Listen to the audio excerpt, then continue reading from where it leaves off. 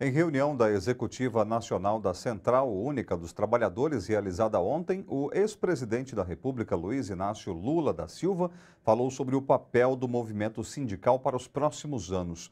Lula disse que as entidades sindicais precisam agir além do chão de fábrica e criticou setores da sociedade que promovem a negação da política. O que nós estamos vendo é um trabalho muito sério da direita e, sobretudo, dos meios de comunicação, para conduzir a sociedade a negar a política.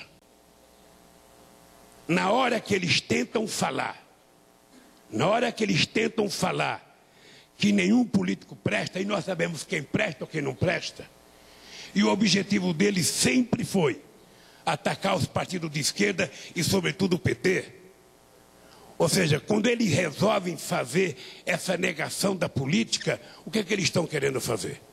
Não sobra nada fora da política.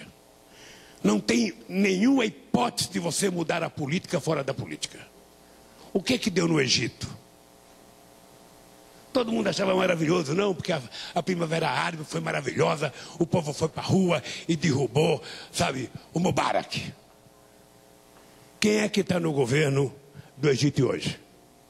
As Forças Armadas.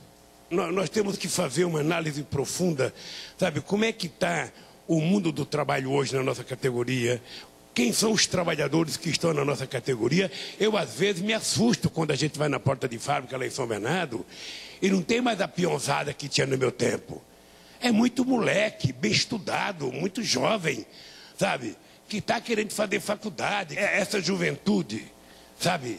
Ah, ah, muitas vezes que contesta quase tudo o que a gente faz, ela sabe o que foi feito, ela tem história do que aconteceu, ela sabe o papel do pai dela no movimento sindical, ela sabe a importância da criação da CUT, ela sabe para que serve a CUT. Se a gente não discute isso, a gente não vai fazer com que essa nova geração saiba que as coisas que nós temos nesse país não vieram de graça. O movimento sindical não pode fazer sindicalismo apenas no chão da fábrica. Eu acho que nós temos que discutir e dar um passo adiante qual é o nosso papel.